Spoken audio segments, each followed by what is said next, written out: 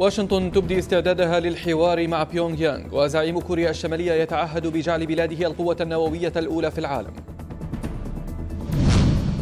التحالف يشن سلسلة غارات على مواقع تابعة للحوثيين في صنعاء والحديدة.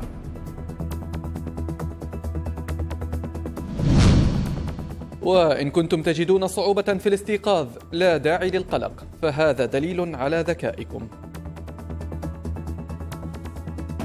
السلام عليكم وأهلا بكم مشاهدينا إلى نشرة أخبار اليوم. نبدأ من آخر التطورات في الملف الأمريكي الكوري الشمالي إذ أعلن وزير الخارجية الأمريكي ريكس تيلرسون أن الولايات المتحدة مستعدة لإجراء محادثات مع كوريا الشمالية حول نزع أسلحتها النووية من دون شروط مسبقة. وكانت الصين قد أخفقت في منع عقد الاجتماع السنوي الرابع لمجلس الأمن التابع للأمم المتحدة بشأن انتهاكات حقوق الإنسان في كوريا الشمالية. هذا وقال زعيم كوريا الشمالية كيم جونغ أون إن هدف بلاده أن تكون أقوى قوة نووية في العالم وفق ما أوردت عنه وكالة الأنباء المركزية الكورية الشمالية. كيم قال في خطاب له أمام العاملين المشاركين في التجربة الأخيرة لصاروخ باليستي جديد إن الصاروخ قادر على الوصول إلى الولايات المتحدة وإن بلاده سوف تتقدم منتصرة وتثب لتكون أقوى قوة نووية وعسكرية في العالم. إذا التوتر الحاصل بين المجتمع الدولي وكوريا الشمالية ليس وليد اللحظة بل بدأت الأزمة بينهما قبل ثلاثة عقود. خلالها لم تلتزم بيونغ يانغ بقرارات الأمم المتحدة ومعاهدة منع الانتشار النووي العالمي. فكانت تجري تجاربها الصاروخية والنووية وشكلت خطرا وتهديدا على المستويين الإقليمي والعالمي. الزميل عطاء الدباغ يضعنا في أهم المراحل التي مرت بها أزمة كوريا الشمالية مع المجتمع الدولي. لسنوات طويلة تمثل كوريا الشمالية تحديا لنظام منع الانتشار النووي عالميا لتطويرها برنامجا نوويا وصاروخيا ينتهك الالتزامات والمعاهدات الدولية فضلا عن تصديرها تلك التكنولوجيا إلى دول أخرى. لهذا يحاول أعضاء المجتمع الدولي منذ ما يزيد على ثلاثة عقود وضع حد للقدرات النووية والصاروخية لبيونغ يانغ نستعرض معكم أبرز المحطات التي مرت بها أزمة كوريا الشمالية. في الثاني عشر من آب أغسطس سنة 1985 وقعت كوريا الشمالية على معاهدة منع الانتشار النووي. وفي الأول من آذار مارس سنة 1994 أجرى مفتشو الوكالة الدولية أولى عملياتهم لمنشآت نووية في كوريا الشمالية. ومن سنة 1996 إلى سنة 2000 عقدت الولايات المتحدة وكوريا الشمالية سبع جولات من المحادثات المتعلقة بالصواريخ لكن جميعها لم تثمر عن أي اتفاق. بعد ذلك صعدت كوريا من ممارساتها تجاه المجتمع الدولي وعطلت في كانون الأول ديسمبر سنة 2002 أجهزة مراقبة وكالة الطاقة الذرية على المنشآت وطالبت مفتشي الوكالة بمغادرة البلاد. بعدها بعام فتحت كوريا الشمالية نيرانها على المجتمع الدولي فأعادت تشغيل مفاعلها النووي وأعلنت انسحابها من معاهدة حظر انتشار الأسلحة النووية. بعدها بثلاث سنوات عادت كوريا لحقل تجاربها فأطلقت سبعة صواريخ باليستية بينها صاروخ تايبو تونغ الثاني طويل المدى. وفي التاسع من تشرين الأول أكتوبر من العام ذاته أجرت كوريا أول تجربة نووية لها تحت الأرض. لم يتوقف التعنت الكوري الشمالي على إجراء التجارب بل كانت بين الحين والآخر تطلق تهديدات لدول الجوار خاصة كوريا الجنوبية التي هددت بضربة نووية في الرابع والعشرين من كانون الثاني يناير سنة 2010 وفي أعقابها وحتى سنة 2013 اقتصرت الأحداث على تحركات دبلوماسية مكثفة بين كوريا الشمالية والدول الكبرى. من سنة 2015 إلى سنة 2017 أجرت كوريا نحو 12 تجربة لصواريخها البالستية. منها قصيرة وبعيدة المدى ومنها ما أطلق لأول مرة من غواصة. في الثاني من آيار مايو من العام ذاته تم تشغيل نظام الدفاع الصاروخي ثاد في كوريا الجنوبية تحسبا لأي أفعال طائشة من جارتها الشمالية. ومنذ بداية الأزمة وحتى يومنا هذا عقد مجلس الأمن 14 جلسة بشأن كوريا الشمالية وتجاربها الصاروخية والنووية. ومرر ست قرارات ضد بيونغ يانغ ما زالت لا تلتزم بها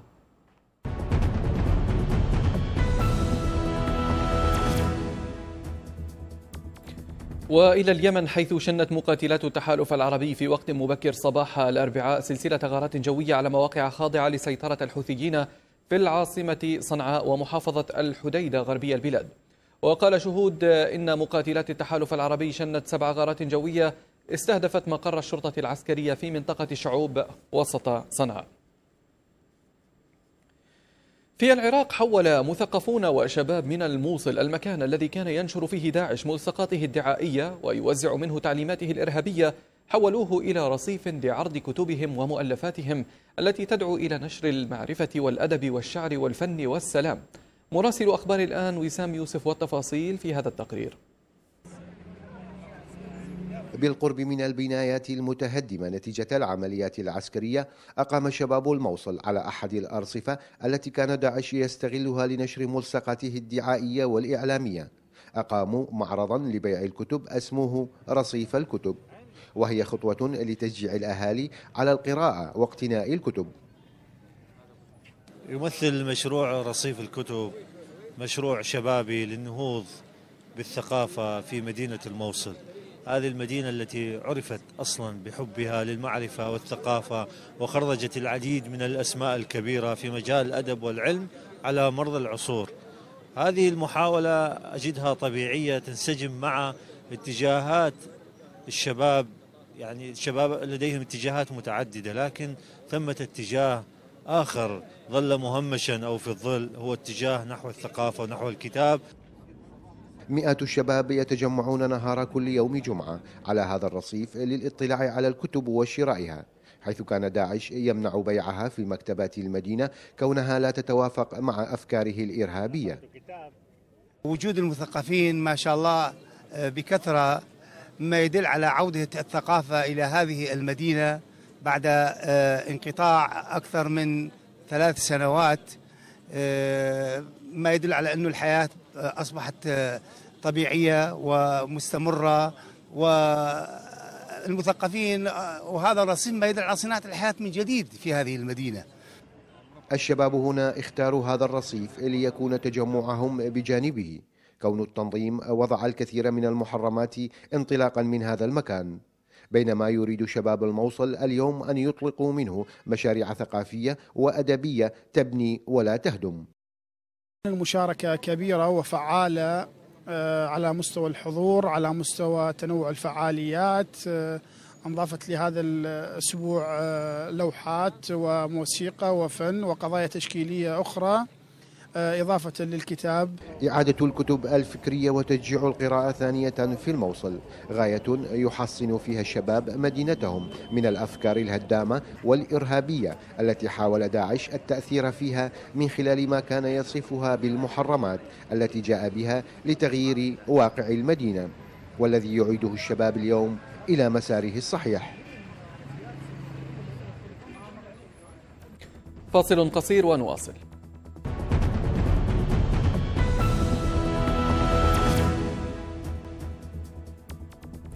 أهلا بكم من جديد. قلق متزايد وتحركات مكثفة على صعيد الأمن والاستخبارات، حيث تستعد دول أوروبا لاحتفالات رأس السنة الجديدة وسط مخاوف من استهدافها بهجمات إرهابية منفردة في ظل موجة العودة إلى القارة العجوز التي بدأها مقاتلو تنظيم داعش الإرهابي بعد هزيمتهم في سوريا والعراق. ويمثل الإرهاب الكابوس الأكبر لدول القارة العجوز. وخاصة التي تعاني من وجود متطرفين وعلى رأسهم فرنسا وبلجيكا وسط انتكاسات غير مسبوقة لتنظيم داعش في العراق وسوريا بعد طرد مقاتليه من جميع المراكز الرئيسية ولدت العديد من المخاوف من عودة ما يعرف بالذئاب المنفردة إلى أوروبا. لشن هجمات إرهابية خلال فترة رأس السنة الجديدة. ففي روسيا أعلن جهاز الأمن الفيدرالي الروسي الثلاثاء ضبط خلية إرهابية كانت تخطط لشن هجمات خلال احتفالات العام الميلادي الجديد وفي فترة الحملات الانتخابية للرئاسة. ونقلت وسائل الإعلام الروسية عن مدير جهاز الأمن الفيدرالي الروسي ألكسندر بورتينيكوف قوله أن الجهاز كشف خلال عام 2017 عن نشاط 56 خلية إرهابية مؤكدا أن عودة المسلحين إلى روسيا بعد هزيمة داعش يمثل خطرا حقيقيا. وكشف بورتينيكوف عن ضبط مجموعة لم يحدد عددها في منطقة موسكو كانت تحضر لأعمال إرهابية خلال عيد رأس السنة وفي فترة الحملة الانتخابية الرئاسية. وأشار إلى أن المجموعة التي كانت تخطط لهذه الأعمال الإرهابية في موسكو هي من آسيا الوسطى. وأضاف أن رجال الأمن صادروا من الإرهابيين متفجرات يدوية الصنع وأسلحة نارية وذخائر. كما تم القضاء على مختبر لصنع أدوات الإرهاب. وفي ذات السياق ذكرت وسائل إعلام إسبانية أن داعش قام ببث تهديدات باستهداف الأوروبيين خلال احتفالات رأس السنة بأربع لغات هي العربية والإنجليزية والفرنسية والألمانية. وعقد العديد من المسؤولين في إسبانيا في مجال مكافحة الإرهاب اجتماعا لبحث كيفية تأمين الشوارع الإسبانية من أي محاولة للإرهاب بشن الهجمات. وفي الوقت نفسه قالت السلطات الأسترالية أنها أحبطت خطة لهجمات في ليلة رأس السنة باعتقال شخص يدعى علي علي من مؤيدي تنظيم داعش ولد في أستراليا لكنه صومالي الأصل. قالت وزارة الدفاع الأفغانية إن قوات البلاد تستعد لشن هجوم واسع النطاق ضد تنظيم داعش الذي يضم مقاتلين أجانب بينهم فرنسيون في شمال أفغانستان. وأوضح المتحدث باسم الوزارة الجنرال دولة وزيري أن القوات تستعد لشن هجوم ضد داعش في ولاية سربل وفارياب وجوز جان من الواضح أن علاقة غير سوية تفتقد للثقة تسود حاليا بين طالبان والقاعدة. هذا الأمر لم يعد خفيا على أحد مؤخرا ولكن لماذا اليوم كثر الحديث عن الموضوع ولم يعد بالإمكان إخفاؤه؟ تابعوا تحليلنا في هذا التقرير. بلا شك أن الأضرار التي لحقت بطالبان نتيجة ممارسات القاعدة كانت فعلا جسيمة. فالإطاحة بطالبان لم تتم إلا بعد أحداث الحادي عشر من سبتمبر التي حصلت تحت عباءة طالبان. وعلى ما يبدو أن طالبان لم تنسى الضرر الذي لحق بكيانها بسبب القاعدة وتصرفها المتهور بشن هجمات الحادي عشر من سبتمبر والتي أدت بالنتيجة إلى الإطاحة الفعلية بطالبان. حينها طالب العديد من قيادات طالبان بوقف الدعم للقاعدة واليوم قيادات طالبان تطمح إلى لجم سرطان القاعدة. صحيح أن الظواهر يهدد اليوم طالبان إلا أن تهديده فارغ المضمون حتى أن التمرد الذي واجهه الظواهر في سوريا ساهم في إضعاف موقفه ضد طالبان. خارج أفغانستان فروع القاعدة لا تهتم كثيرا لطالبان وأي نزاع بين طالبان والقاعدة لن يستفيد منه إلا طالبان. باختصار طالبان لديها فرصة كبيرة لتدق المسمار الأخير في نعش القاعدة. يقبل الشباب في ليبيا على تطوير قدراتهم وتنميتها من خلال اكتساب لغات جديدة. لغة أضحى اكتسابها مهما للغاية خصوصا في بعض الوظائف. المزيد في هذا التقرير. في هذا المكان يمضي عدد من الشباب والشابات ساعات طويلة لاكتساب لغة جديدة. تختلف الأهداف والدوافع التي دعت كل متدرب لتنمية قدراته في اللغة والالتحاق بدورات مراكز اللغات التي انتشرت بشكل كبير مؤخرا في العاصمة الليبية طرابلس. طه شاب يدرس في الثانوية. يرغب في إكمال دراسته الجامعية بمجال الطيران أمر يدفعه لتعلم اللغة لتوسيع معارفه في مجاله الذي يتطور كل يوم. هو يفيدني أني نقرأ في مجال الطيران إنجليزي. يفيدني في مجالي. لما نوقف مع الأولاد الأصحاب نشبح في زوز نتكلموا إنجليزي وأنا نكون مش فاهم شيء. هذا أول هدف إني خلاني نبي نفهم اللغة والثاني باش يساعدني في قرايتي. متدربون آخرون يتطلعون للدراسة أو الاستقرار بالخارج ويرون في تعلم اللغة ضرورة لتحقيق مشاريعهم مستقبلا. هذا الإقبال قابله سعي القائمين على هذه المراكز لتوفير أفضل المعلمين للحصول على أفضل النتائج بتقديم تسهيلات كبيرة للدفع مراعاة للظروف الحالية. لاحظوا أن الشباب حابين يطوروا في نفسهم حابين يوضحوا أو يوصلوا صورة أن شباب حاب يتعلم حاب يساعد في بناء الوطن يحاول يكون عنده رغبة. والحمد لله يعني تطور ملحوظ جدا استجابة هلبة أولياء الأمور كذلك أولياء الأمور يعني متفاعلين هلبة محاولين أن موفرين سبل الراحة لأطفالهم. اختلفت رغبات ودوافع هؤلاء الشباب في تعلم اللغة.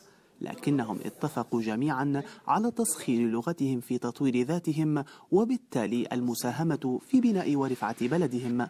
معتز الخريف لأخبار الآن طرابلس. باع تنظيم داعش الإرهابي حتى الآن 1700 فتاة وامرأة أزيدية عراقية بالعملة الصعبة على سماسرة بدورهم باعوهن إلى ذويهن بأموال طائلة بعد ثلاثة أعوام من اقتيادهن جاريات وسبايا للاستعباد الجنسي من قضاء سنجار وقرى غربي الموصل شمال العراق. المزيد من التفاصيل في التقرير الذي أعده الزميل جمال العريبي. الطفل هو اسمه آه، خلف غريب خضر من مواليد 9 1 2008 وسعر المبلغ المطلوب 165 ورقة دولار. يعني 16500 هذا. والثانية البنت أخته أيمن خلف غريب المواليد 10 12 2001 يعني عمره 16 سنة. المبلغ المطلوب 111 ورقة دولار. هذا موجود. طفل وأخته للبيع. هذا ما جاء في نص الرسالة التي أرسلها والد الطفلين الإيزيديين يطلب المساعدة من مكتب المرجع الديني للإيزيديين لتحرير ابنيه من قبضة داعش. ويعرض تنظيم داعش الإرهابي يوميا فتيات ونساء إيزيديات مع من بقي من أطفالهن للبيع على المهربين وتجار الرقيق خصوصا بعد طردهم من الموصل. نعم انتهى الحرب لكنه لم ينتهي. قضية الصبايا وقضية السبايا الإيزيديات. لحد الآن أكثر من 2800 بنت إيزيدية بين أنياب داعش وبيد قبضة داعش. فايزة وهيفاء وسوسن وشيرين. كلها أسماء لنساء إيزيديات تم تحريرهن من قبضة داعش. بعدما تم وبصعوبة بالغة جمع لكل واحدة منهن مبلغ مالي يقدر بسبعة عشر ألف دولار من أجل تحريرهن. الجماعة الذي كانوا في اتصال معكم كانوا يشترون بنات البنات من من من الم يعني مثل إيد لإيد يعني. الداعشي يبيع ب 50 أو ب 500 100 دولار حسب قيمته. يبيعه والثاني يجي يعني للأخير اللي يزيد يشتري بدفتر كامل يعني عشرة آلاف دولار. أو مرات يصل إلى آه، أنا عندي الرسالة موجودة بتلفوني قبل ما أصل إلى دبي. وصل لي بأنه أكو ولد وطف يعني طفل وطفلة آه، أحدهما بدفتر يعني ب 17500 وأكد هادي بابا الشيخ بأن عدد المختطفات الإزيديات اللواتي تم شراؤهن من قبل ذويهن من قبضة داعش وصل إلى 1700 فتاة وامرأة مقابل أموال طائلة جزء كبير منها يحصل عليه التنظيم بواسطة سماسرة وتجار البشر كما تساءل عن مصير باقي الإزيديات المفقودات. جمال عريب الأخبار الآن أبو ظبي. نشرتنا مستمرة وفيها بعد الفاصل. في كأس العالم للأندية طموح الجزيرة يصطدم بحامل اللقب ريال مدريد.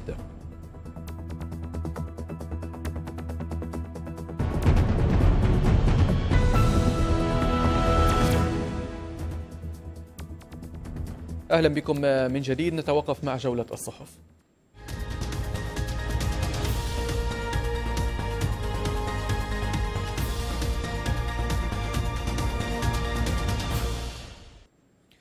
نبدأ من صحيفة الشرق الأوسط التي عنونت حمى الخوف من الارتباط تصيب الرجال أكثر من النساء.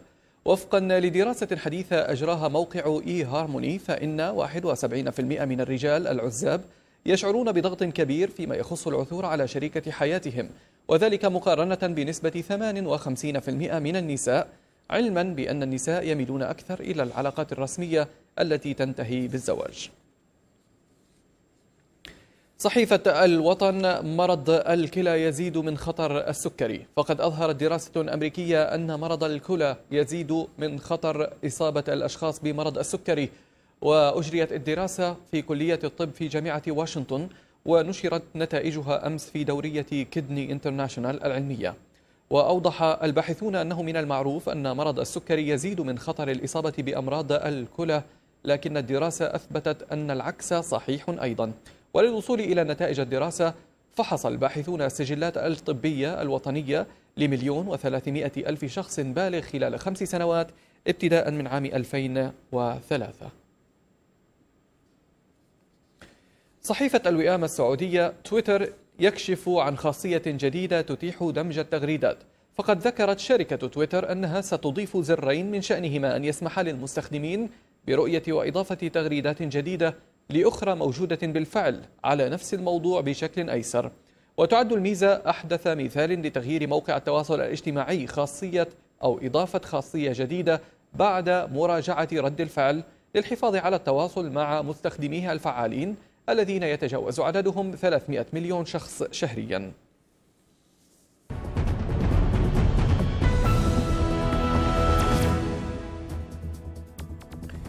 يتهافت الملايين من الناس على تناول المكملات الغذائية من الفيتامينات وتعددت ابتكارات الشركات في صنع الفيتامينات وأشكالها إذ ابتكرت شركة أمريكية منتجا لاستنشاق أبخرة الفيتامينات بدلا من تناولها على شكل مكملات غذائية. تفاصيل أوفى مع المختصة في الملف الصحي في غرفة أخبار الآن عبير عبد الله.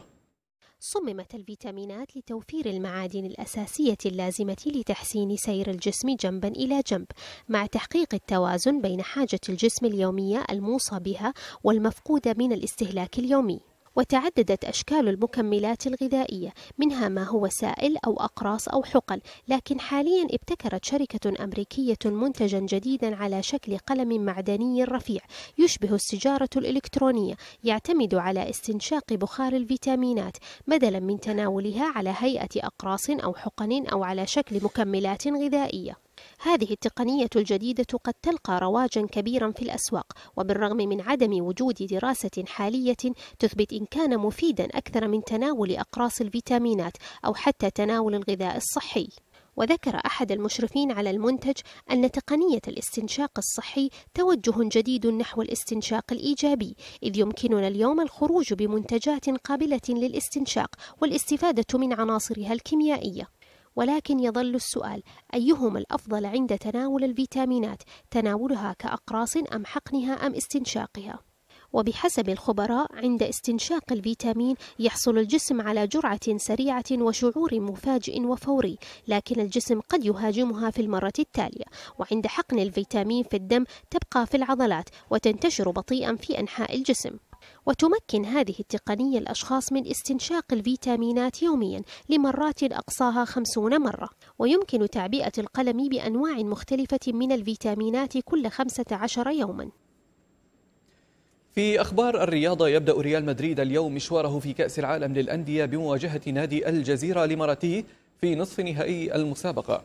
ويشعر الريال بحالة من التفاؤل قبل بدء مشواره في المسابقة خاصة مع الحالة المعنوية المرتفعة لنجمه كريستيانو رونالدو الذي توج بجائزة الكرة الذهبية هذا الأسبوع بجانب تسجيل ثنائية في مرمى إشبيليا في الفوز بخماسية نظيفة في الليغا في أجمل مباريات ريال مدريد هذا الموسم. التقرير التالي والتفاصيل. مع بلوغ منافسات كأس العالم للأندية في الإمارات أوجها يستهل أصحاب اللقب مبارياتهم أملا بتحقيق ما لم يسبق لأي فريق تحقيقه سابقا ألا وهو الحفاظ على اللقب. إلى أن بانتظار ريال مدريد لن يكون فقط خصم محلي متمثل بنادي الجزيرة بل عدد هائل من جماهير أبو ظبي والإمارات الحاضرين في إحدى أكثر المباريات شعبية في الموسم. وبعد أن سجلوا الفوز بهدف دون رد في باكورة مبارياتهم ما من شك في أن عشاق المستديرة الساحرة في البلاد يمنون النفس بحصد الفوز مجددا واقتناص مفاجأة كبيرة أمام خصم من العيار الثقيل.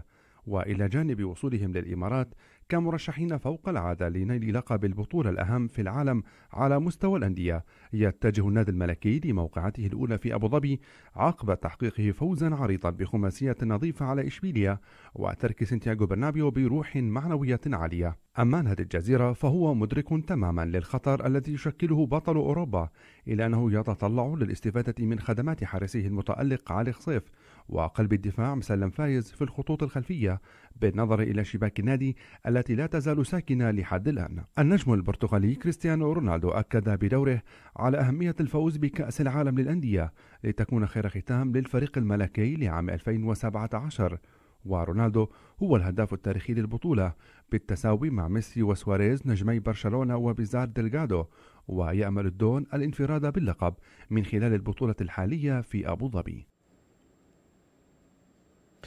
وفي السياق ذاته أطاح فريق غريميو البرازيلي بمنافسه باتشوكا المكسيكي من الدور قبل النهائي لبطولة كأس العالم للأندية لكرة القدم 2017 بفوزه عليه في المباراة التي جمعتهما الثلاثاء ليكون بذلك أول المتأهلين إلى نهائي مونديال أبو ظبي. ويدين الفريق البرازيلي بطل كأس ليبرتادوريس لكرة القدم بالفضل الكبير في انتصاره لمهاجمه البديل إيفرتون سوسا سواريز. الذي أحرز هدف الفوز الوحيد له في الدقيقة الخامسة من زمن الشوط الإضافي الأول. أكدت نتائج دراسة علمية حديثة نشرتها المجلة الطبية المتخصصة في النوم أن من ينام لساعات أطول ولا يحب الاستيقاظ باكرا أذكى من غيره.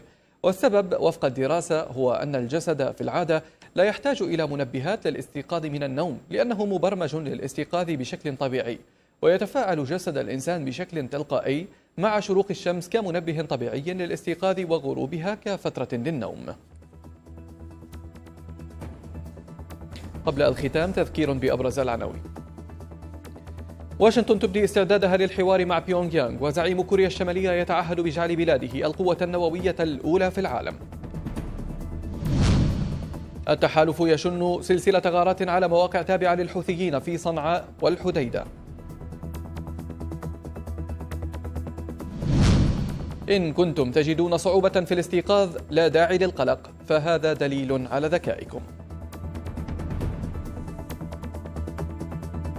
وصلنا للختام. للمزيد يمكنكم دائما مشاهدين متابعتنا على موقعنا الإلكتروني. كما يمكنكم التواصل معنا عبر مواقع فيسبوك وتويتر. ويمكنكم أيضا متابعة بثنا المباشر في الموقع ذاته.